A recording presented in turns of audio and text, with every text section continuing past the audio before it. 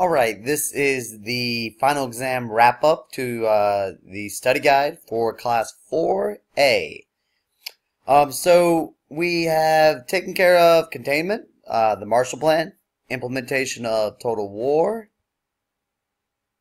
So we need to get uh, the next one, reasons for U.S. involvement in World War One and World War Two. World War One, uh, the involvement uh, or the reasons why the United States got involved, uh, British propaganda, uh, the British were, uh, you know, supplying us with information that was decidedly uh, anti-German, and uh, it, this allowed us to become more sympathetic uh, towards the Allies. The Zimmerman note, or the Zimmerman telegram, this was from Germany to Mexico. If Mexico joins the Central Powers, uh, Germany will ensure that Mexico will get some land uh, that they lost to the United States during the Mexican-American War. And the last one, uh, Germany was violating our freedom of the seas, or the, the unrestricted submarine warfare. Alright, next one, the purpose of the League of Nations and the United Nations.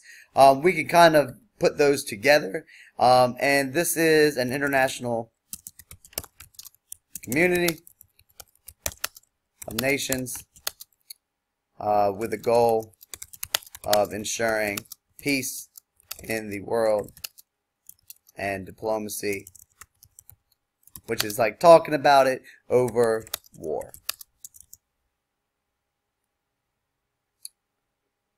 Alright, what else do we have to do? Uh, the role of government in capitalism and communism. I like to combine capitalism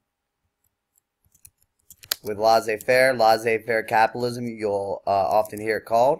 And so this will hopefully allow students to remember laissez-faire, hands off, uh, the government stays out of the economy, and this means that business leaders are the ones who make decisions. Communism,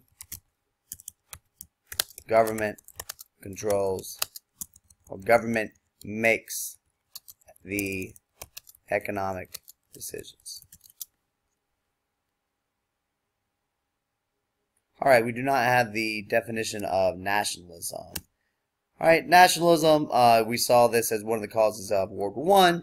Uh, prior to that, we saw unified countries like Germany um, and Italy. Both uh, were able to be unified um, uh, with nationalistic leaders and nationalistic, uh, you know, agendas. What is this? It is loyalty to one's loyalty or pride, I, I guess I should say, in one's uh, culture or country. Alright, the cause of the Atlantic slave trade and the experience of those who traveled through the Middle Passage. Uh, just think back to the film Amistad and the uh, experiences that Cinque, um, you know, uh, went in, uh, the, the, the passage that Cinque uh, had to endure uh, on its way from West Africa to the West Indies. Uh, in the film Amistad. Uh, so the cause of this Atlantic slave trade, uh, there's a demand for labor, thanks to cash crops, in the New World. And the experience is hot, lots of death, poor ventilation. You know, just a, a really horrible or horrific ordeal.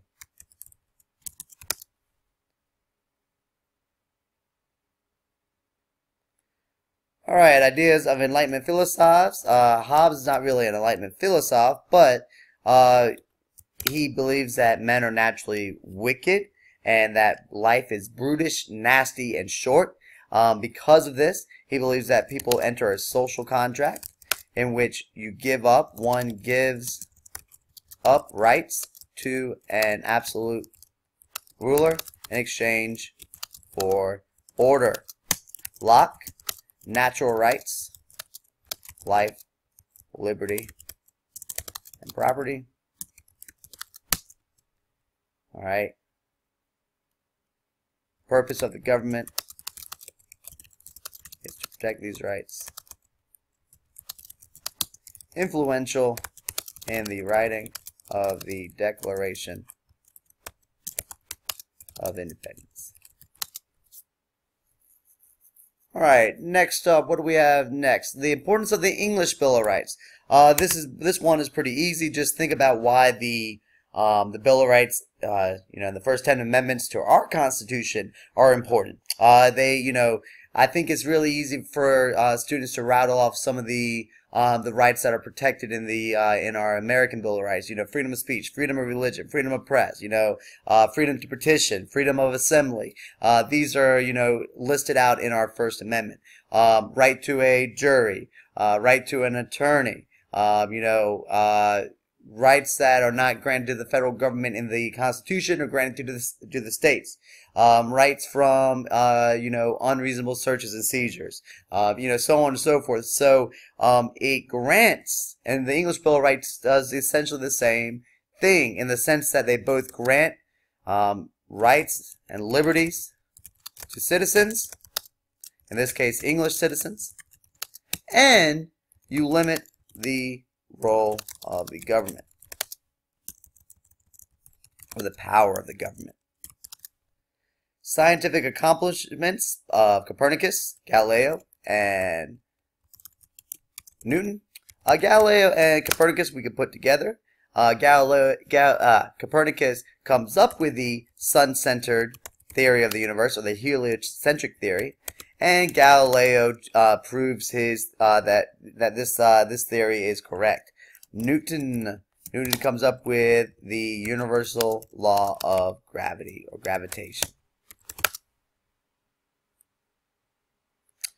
The impact of the printing press by Johann Gutenberg.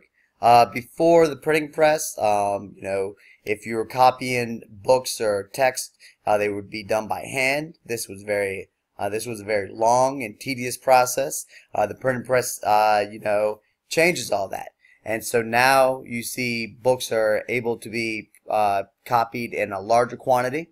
Uh, therefore, the price goes down.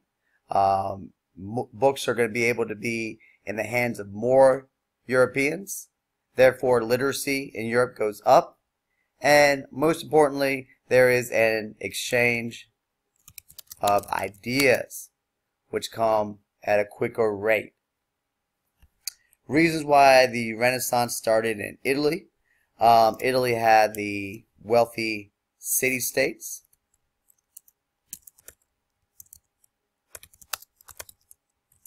Thanks to the trade that was coming from uh, the Middle East into Europe. Think, uh, you know, once again, that's kind of going back to the Crusades. All right, increased European demand for goods from Asia and the Middle East. Uh, well, where were these goods coming through or passing through it? You know, as they were coming uh, along the Mediterranean Sea and going into Europe, they would uh, enter Europe through Italy. So wealthy city-states. Uh, these city-states had a large uh, population of bankers. Uh, these bankers will become patrons of the arts.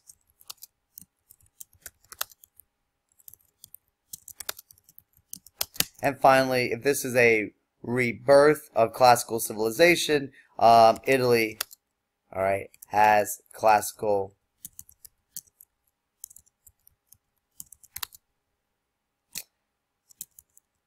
has the has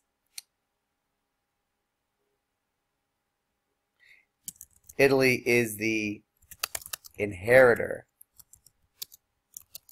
I'm going all over the place. And or participant. I don't know. Um, if, you know, Greece, Greco-Roman civilization, um, what am I trying to say here? Greco-Roman civilization, um, is a classical civilization. It's the Greco-Roman, uh, you know, uh, lessons, uh, you know, and, and, and, and, and text, and it's the classical civilization that's seeing a rebirth, uh, during this time period. Um, and Italy, um, is where the Greco-Roman civilization first flourished. How about that? It's a struggle, but I think we got through it. Alright, what else do we need to know? And that is it. Um, I am going to take a second um, and scroll back up to the very top. And I'm just going to stop it right there. Alright, and that way you can pause it and you can write down what you need. We'll scroll down. You can pause it. And we can scroll down. You can pause it.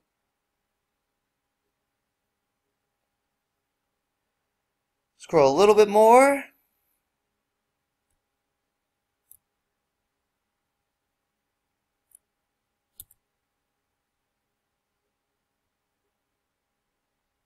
Scroll just a little bit more.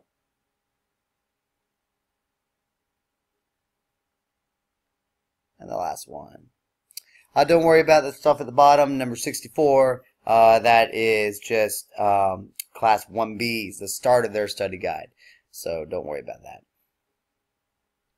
All right, uh, you know, just a couple things here at the very end. Um, I wish you guys the best of luck. Uh, make sure that you're taking your time on this exam. Uh, there will be some things um, on this exam that we did not get to talk about this year. Um, do your best on those questions. Uh, try to eliminate any answer choices uh, that you know to be incorrect, um, and therefore, you know, increasing your chances of answering each question correctly. Uh, anyway, I wish you guys the best of luck, um, and feel free to use the study guide, um, you know, to help you study uh, for the exam. All right.